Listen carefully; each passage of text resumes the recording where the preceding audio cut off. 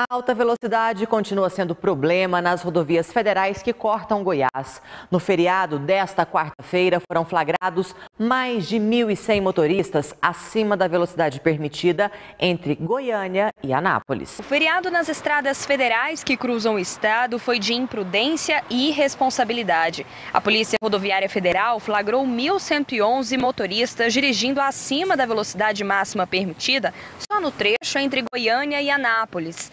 Essa caminhonete foi flagrada a 170 km por hora e esse caminhão a 143. Lembrando que um veículo de carga pesada sim tem muito mais dificuldade para conseguir frear se necessário. Só que o que mais chamou a atenção foram os motociclistas.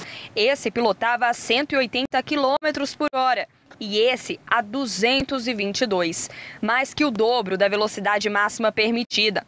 Nestes casos, a multa pode chegar a 880 reais, e o condutor corre o risco de perder a CNH. De acordo com o balanço da Polícia Rodoviária Federal, durante o feriado de proclamação da República, foram registrados sete acidentes com 11 pessoas feridas.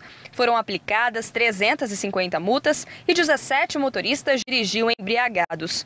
Além do excesso de velocidade, entre as principais infrações cometidas estão as ultrapassagens proibidas falta do cinto de segurança. A quantidade de ocorrências registradas chama a atenção para a falta de consciência do motorista com a vida.